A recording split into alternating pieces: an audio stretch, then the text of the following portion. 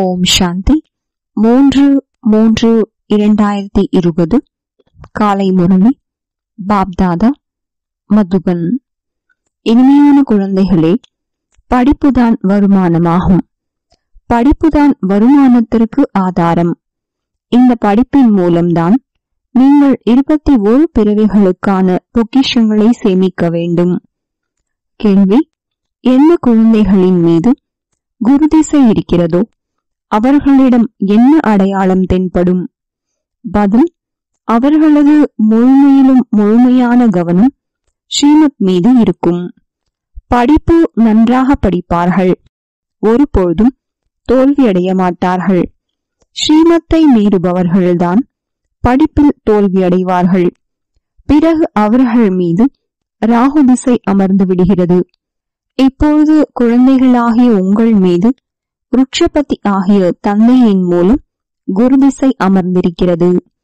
பாட்டு இந்த பாவனமான உலகிலிருந்து. ஓம் சாந்தி. இது பாவாத்மாக்களின் கூக்குரலாகும். நீங்கள் கூக்குரலிட வேண்டியதில்லை. ஏனெனில் நீங்கள் பாவனமாகிக் கொண்டிருக்கிறீர்கள். இது தாரணை செய்ய வேண்டிய விஷயமாகும். இது மிக பெரிய பொக்கிஷமாகும். எவ்வாறு லௌகீக படிப்பும் பொக்கிஷம் அல்லவா?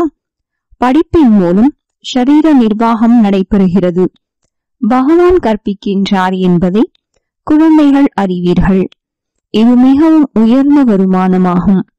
ஏனெனில் லட்சியம் குறிக்கோள் எதிரிலேயே இருக்கிறது. உண்மையிலும் உண்மையான சத்சங்கம் இது ஒன்றுதான். மற்ற அனைத்தும் பொய்யான சத்சங்கங்களாகும். முழு கல்பத்திலும் சத்சங்கம் ஒரே ஒரு முறைதான் ஏற்படுகிறது. இதை நீங்கள் அறிவீர்கள். அப்பொழுதுதான் பதீத பாவனனை வாருங்கள் என்று அழைக்கிறீர்கள். இப்போது அவர்கள் அழைத்துக் கொண்டே இருக்கிறார்கள். இங்கு உங்கள் எதிரில் அமர்ந்திருக்கிறார். நாம் புது உலகிற்காக முயற்சி செய்து கொண்டிருக்கிறோம் என்பதை குழந்தைகளாகிய நீங்கள் அறிவீர்கள். அங்கு துக்கத்தின் பெயர் அடையாளமே இருக்காது. சொர்க்கத்தில் உங்களுக்கு சுகம் கிடைக்கிறது. நரகத்தில் சிறிதும் சுகம் கிடையாது. இது விஷக்கடலாகும். கலியுகம் அல்லவா? அனைவரும் துக்கத்திலும் துக்கமாக இருக்கின்றனர். விகாரத்தின் மூலம்தான் பிறப்பு எடுக்கின்றனர் அதனால்தான் ஆத்மா பாபா நாம் பதீத்தமாக ஆகிவிட்டோம் என்று அழைக்கிறது. பாவனம் ஆவதற்காக கங்கையில் குளிக்க செல்கின்றனர். நல்லது குளித்து விட்டீர்கள் எனில் பாவனமாகிவிட வேண்டும் அல்லவா பிறகு ஏன் அடிக்கடி கீழே விழுகிறீர்கள்? வீழ்ச்சி அடைந்து ஏனியில் கீழே இறங்கி இறங்கி பாவாத்மா ஆகிவிடுகிறீர்கள்.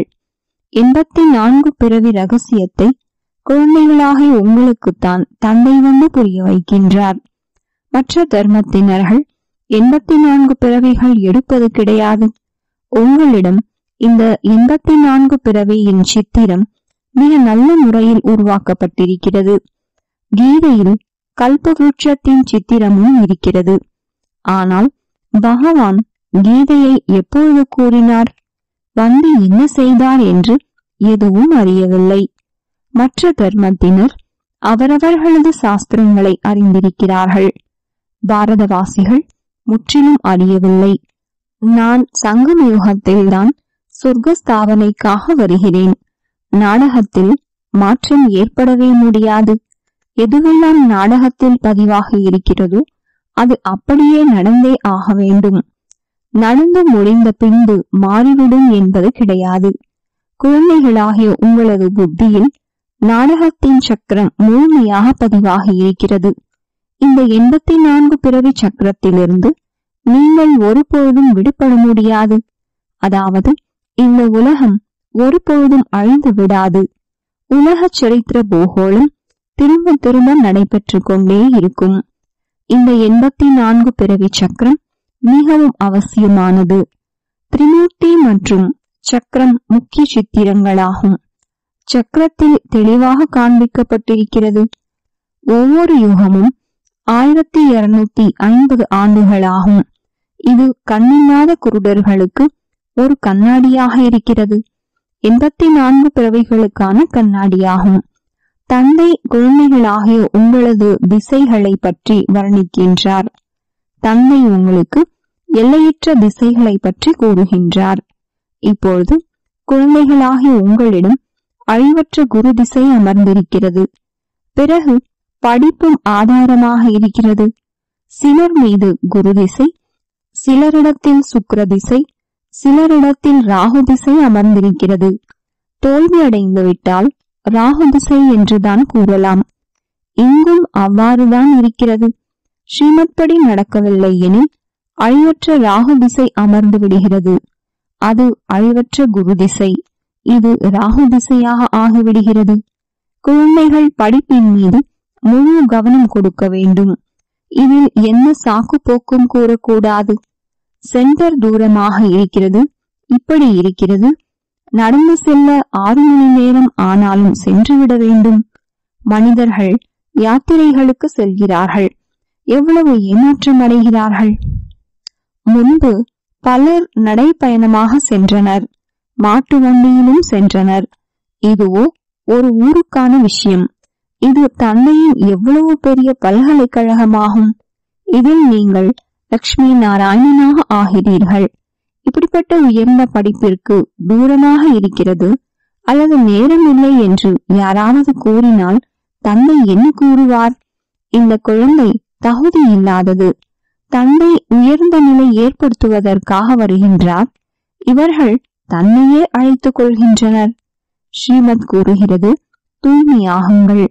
தெய்வீக குணங்களை தாரணை செய்யுங்கள். சேர்ந்திருந்தாலும் விகாரத்தில் செல்லக்கூடாது. இடையில் ஞானம் யோகம் என்ற அம்பு இருக்க வேண்டும். நாம் தூய்மையான உலகிற்கு எஜமானர்களாக ஆக வேண்டும். இப்போது பத்தீத்த உலகிற்கு எஜமானர்களாக இருக்கிறீர்கள் அல்லவா? அந்த தேவதைகள் இரட்டை கிரீடதாரிகளாவர். அரை கல்பத்திற்கு பிறகு ஒளி கிரீடம் மறைந்து விடுகிறது. இந்த நேரத்தில் ஒளி கிரீடம் யாரிடத்திலும் கிடையாது. தர்மஸ்தாபர்களிடத்தில் இருக்கலாம். ஏனெனில் அந்த தூய்மையான ஆத்மாக்கள் ஷரீரத்தில் வந்து பிரவேசிக்கிறது. இதே பாரதத்தில்தான் இரட்டை கிரீடமுடையவர்களும் இருந்தனர்.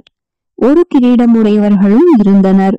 இதுவரையும் கூட ஒற்றை கிரீடமுடையவர்கள் இரட்டை கிரீடமுடையவர்களின் முன் தலை வணங்குகின்றனர் ஏனெனில் அவர்கள் தூய்மையான மகாராஜா மகாராணி ஆவர் மகாராஜா என்றால் ராஜாக்களை விட உயர்ந்தவர்களாவர் அவர்களிடத்தில் அதிகமான நிலங்களும் இருந்தன. சபைகளிலும் மகாராஜாக்கள் முன் வரிசையிலும் ராஜாக்கள் பின் வரிசையிலும் வரிசை கிரமமாக அமருவார்கள். நியமபூர்வமாக அவர்களது அரசு சபை கூடும். இதுவும் ஈஸ்வரிய சபையாகும். இது இந்திர சபை என்றும் பாடப்படுகிறது. நீங்கள் ஞானத்தின் மூலம் பரிகளாக ஆகிறீர்கள். மிக அழகாக இருப்பவர்கள் தேவதைகள் என்று கூறப்படுவார்கள் அல்லவா? ராதை கிருஷ்ணர் இயற்கையான அழகுடன் இருப்பார்கள்.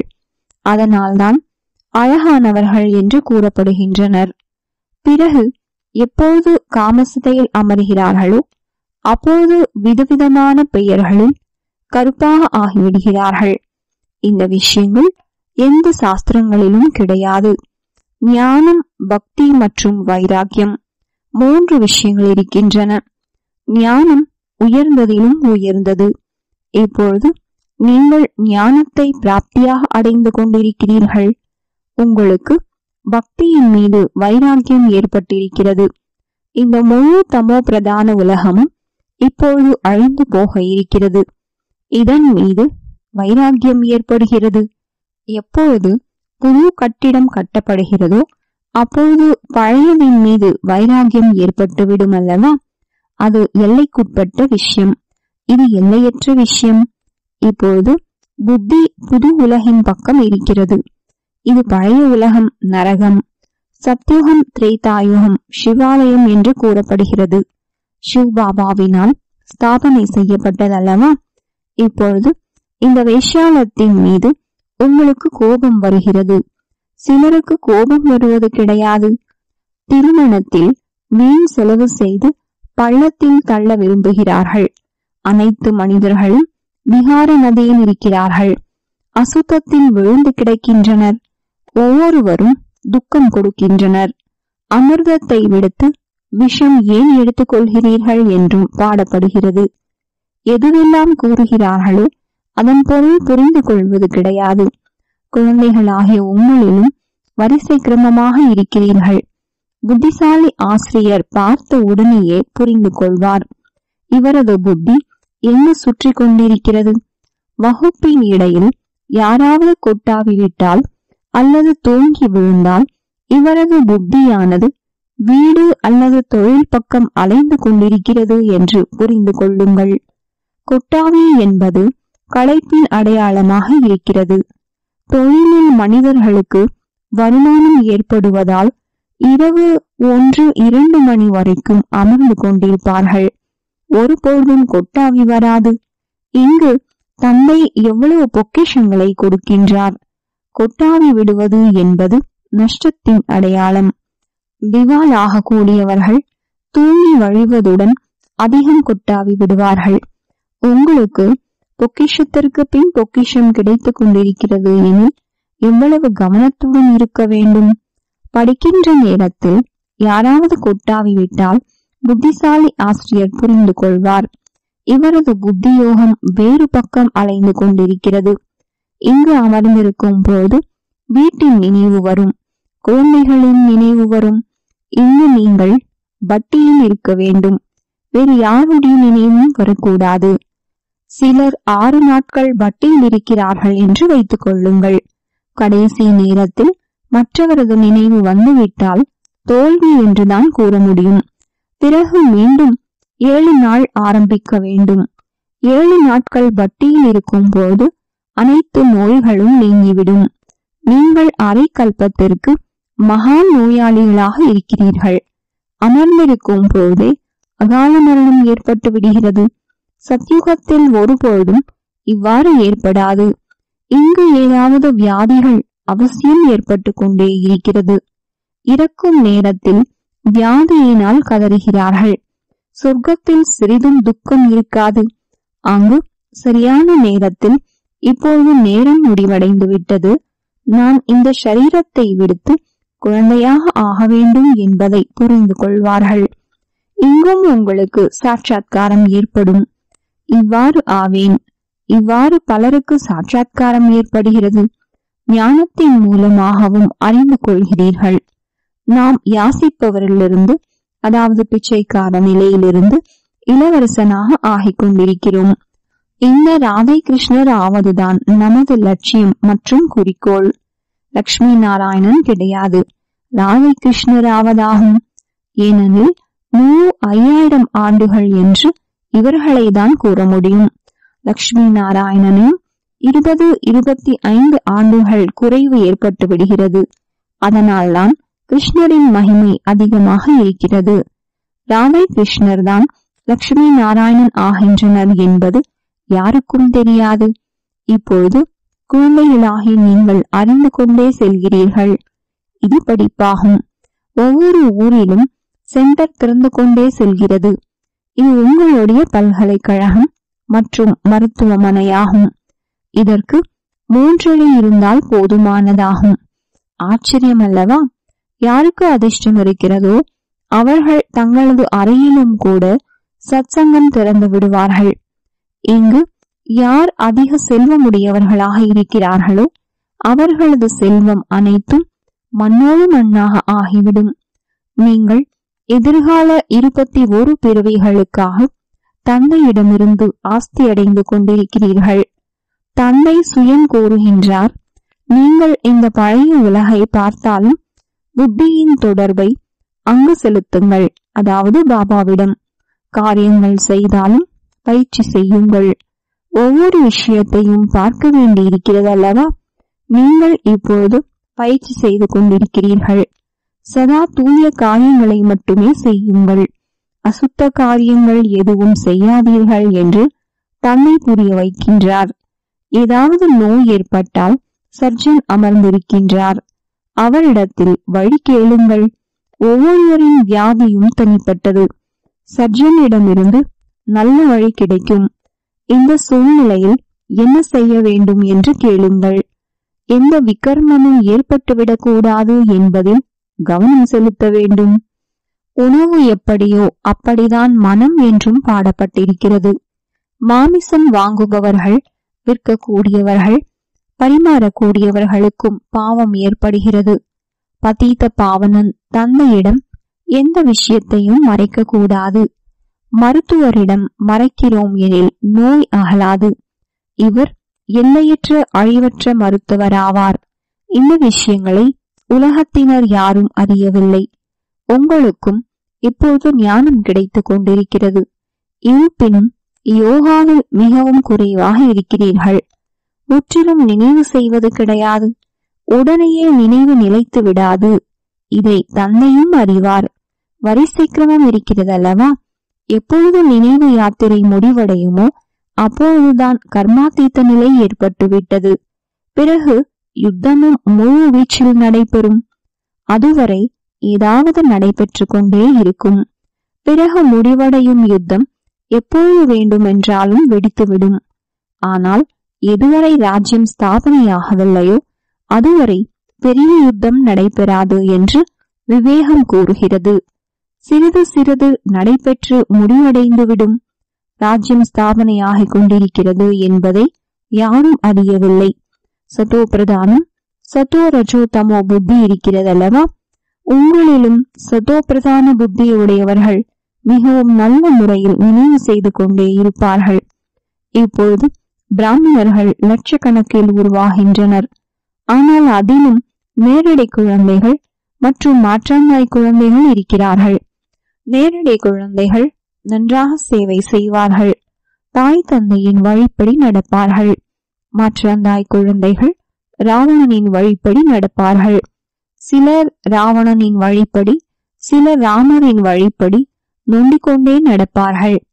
குழந்தைகள் பாட்டு கேட்டீர்கள் அல்லவா? பாபா எங்கு சுகம் இருக்குமோ அப்படிப்பட்ட இடத்திற்கு அழைத்து செல்லுங்கள் என்று கூறுகின்றனர். சொர்க்கத்தில் சுகமே சுகம்தான் இருக்கும்.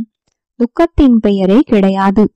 சொர்க்கம் என்று கூறப்படுவது சத்யுகத்தை தான் இப்பொழுது இருப்பதோ கலியுகம். பிறகு இங்கு சொர்க்கம் எங்கிருந்து வந்தது? இப்பொழுது உங்களது புத்தி தூய்மையானதாக ஆகிக்கொண்டே செல்கிறது. தூய புத்தி உடையவர்களை அசுத்த புத்தி உடையவர்கள் நமஸ்கரிக்கிறார்கள். தூய்மையாக இருப்பவர்களுக்கு மரியாதை இருக்கிறது. சந்நியாசிகள் தூய்மையாக இருப்பதால் இல்லறத்தை சார்ந்தவர்கள் அவர்களுக்கு தலை வணங்குகிறார்கள் சந்நியாசிகள் விகாரத்தின் மூலம் பிறப்பெடுத்து பிறகு சன்னியாசிகளாக ஆகின்றனர். தேவதைகள் சம்பூர்ண நிர்வீக்காரிகள் என்று கூறப்படுகின்றனர். சன்னியாசிகளை ஒருபொழுதும் சம்பூர்ண நிர்வீக்காரிகள் என்று கூறுவது கிடையாது. ஆக குழந்தைகளாகிய உங்களுக்குள் குஷியின் அளவு அதிகரிக்க வேண்டும். அதனால்தான் அத்தீந்திரிய சுகம் பற்றி கேட்க வேண்டுமெனில் கோப கோபியர்களிடம் கேளுங்கள் என்று கூறப்பட்டிருக்கிறது. அவர்கள் தன்னையிடமிருந்து ஆஸ்தியடைந்து கொண்டிருக்கிறார்கள் படித்துக் கொண்டிருக்கிறார்கள் இங்கு எதிரில் கேட்கும் போது போதை அதிகரிக்கிறது பிறகு சிலருக்கு நிலைத்திருக்கிறது சிலருக்கு உடனேயே மறைந்து விடுகிறது. கெட்ட சகவாசத்தின் காரணத்தினால் போதை நிலையாக நிலைத்திருப்பது கிடையாது. உங்களது சென்டர்களில் இவ்வாறு பலர் வருகிறார்கள் சிறிது போதை அதிகரிக்கிறது பிறகு பார்ட்டிகளுக்கு சென்று மதுபானம் சிகரெட் பீடி போன்றவைகளை குடித்துவிட்டால் முடிந்தது. கெட்ட சகவாசம் மிகவும் கெட்டதாகும். அன்னமும் கொக்கும் ஒன்றாக சேர்ந்திருக்க முடியாது. கணவன் அன்னமாக ஆகின்றாரெனில் மனைவி கொக்காக ஆகிவிடுகிறார். சில இடங்களில் மனைவி அன்னமாக ஆகிவிடுகிறார். கணவன் கொக்காக ஆகிவிடுகிறார். தூய்மையாக ஆக வேண்டும் என்று கூறினால் அடி வாங்குகிறாள் சில வீடுகளில் அனைவரும் அன்னம் போன்று இருக்கிறார்கள். பிறகு நாளடைவில் அன்னத்திலிருந்து கொக்காக ஆகிவிடுகின்றனர். தன்னை சுகமானவராக ஆக்கிக் கொள்ளுங்கள். குழந்தைகளையும் சுகமானவர்களாக ஆக்குங்கள் என்று தந்தை கூறுகின்றார். இங்கு துக்கம் இருக்கிறதல்லவா? இப்பொழுது பல ஆபத்துகள் வரவிருக்கின்றன. பிறகு பாருங்கள் எவ்வளவு ஐயோ ஐயோ என்று கூறுவார்கள். அடே தந்தை வந்திருக்கின்றார். நாம் தந்தையிடமிருந்து ஆஸ்தி அடையவில்லை எனில் பிறகு மிகவும் தாமதமாகிவிடும். தந்தை சொர்க்கராட்சியம் கொடுக்க வந்திருக்கின்றார். அதை எழுந்து அமர்ந்திருக்கின்றனர். அதனால்தான் தன்னை புரிய வைக்கின்றார். பாபாவிடத்தில் எப்போதும் உறுதியாக இருப்பவர்களை அழைத்து வாருங்கள். அவர்கள் தானும் புரிந்து கொண்டு மற்றவர்களையும் புரிய வைக்கக்கூடியவர்களாக இருக்க வேண்டும். மற்றபடி பாபா தரிசனம் செய்யக்கூடியவராக மட்டும் கிடையாது. சிவ் பாபா எங்கேயாவது தென்படுவாரா? தனது ஆத்மாவை பார்த்திருக்கிறீர்களா என்ன? அறிந்து கொண்டிருக்கிறீர்கள். அவ்வளவுதான். அவ்வாறு பரமாத்மாவையும் அறிந்து கொள்ள வேண்டும். தெய்வீக திருஷ்டியின்றி அவரை யாரும் பார்க்க முடியாது. தெய்வீக திருஷ்டியின் மூலம் இப்பொழுது நீங்கள் சத்யுகத்தை பார்க்கிறீர்கள். பிறகு அங்கு நடைமுறையில் செல்ல வேண்டும். எப்பொழுது குழந்தைகளாகிய நீங்கள் கர்மாத்தீத்த நிலை அடைவீர்களோ அப்போதுதான் கலியுகம் விநாசமாகும். நல்லது. இனிமையிலும் இனிய தேடி கண்டெடுக்கப்பட்ட சில குழந்தைகளுக்கு தாயும் தந்தையுமான பாப்தாதாவின் அன்பு நினைவுகள் மற்றும் காலை வணக்கம். ஆன்மீக குழந்தைகளுக்கு ஆன்மீக தந்தையின் நமஸ்தே. ஆன்மீக தந்தைக்கு ஆன்மீக குழந்தைகளின் அன்பு நினைவுகள் காலை வணக்கம் மற்றும் நமஸ்தே. தார்மீக்கான முக்கிய சாரம் ஒன்று இந்த பழைய உலகை பார்த்தாலும் புத்தியோகம் தந்தை மற்றும் புது உலகின் பக்கம் ஈடுபட்டிருக்க வேண்டும். கர்மேந்திரியங்களின் மூலம் எந்த பாவ காரியமும் ஏற்பட்டுவிடக் கூடாது என்பதில் கவனமாக இருக்க வேண்டும். எப்பொழுதும் நல்ல காரியம் மட்டுமே செய்ய வேண்டும். உள்ளுக்குள் ஏதாவது நோய் இருந்தால் மருத்துவரிடம் கூறி ஆலோசனை பெற்றுக்கொள்ள வேண்டும். இரண்டு கெட்ட சகவாசம் மிகவும் கெட்டது. இதிலிருந்து தன்னை மிக மிக பாதுகாப்பாக வைத்துக் கொள்ள வேண்டும். தன்னை மற்றும் குடும்பத்தை சுகமானதாக ஆக்கிக் கொள்ள வேண்டும். படிப்பதற்கு ஒருபொழுதும் சாக்குப்போக்கு கூறக்கூடாது. வரதானம். தன்னுடைய அனைத்தையும் சேவையில் அர்ப்பணம் செய்யக்கூடியவர்கள் குப்ததானி புண்ணியாத்மா ஆகுங்கள். எந்த சேவை செய்தாலும் சரி அதை உலக நன்மைக்காக அர்ப்பணம் செய்து கொண்டே செல்லுங்கள். எப்படி பக்தியில் யாரெல்லாம் மறைமுகமான தானம் செய்பவராக புண்ணிய ஆத்மாக்களாக இருக்கிறார்களோ அவர்கள் அனைவரின் நன்மைக்காக இருக்கட்டும் என்று இதே சங்கல்பம் செய்வார்கள். அதுபோல உங்களுடைய ஒவ்வொரு சங்கல்பமும் கூட சேவையில் அர்ப்பணமாக ஆகியிருக்கட்டும் ஒருபொழுதும் தனது என்ற தன்மையின் விருப்பம் கொள்ளாதீர்கள். அனைவருக்காக சேவை செய்யுங்கள். எந்த சேவை தடைரூபமாகிறதோ அதை உண்மையான சேவை என்று கூற மாட்டார்கள் எனவே தனது என்ற தன்மையை விடுத்து மறைமுகமான மற்றும் உண்மையான சேவாதாரி ஆகி சேவை மூலமாக உலக நன்மை செய்து கொண்டே செல்லுங்கள். ஸ்லோகன் ஒவ்வொரு விஷயத்தையும் பிரபுவிற்கு அர்ப்பணம் செய்து விட்டீர்கள் என்றால் வரக்கூடிய கடினங்கள் சுலபமாக அனுபவமாகும். ஓம் சாந்தி.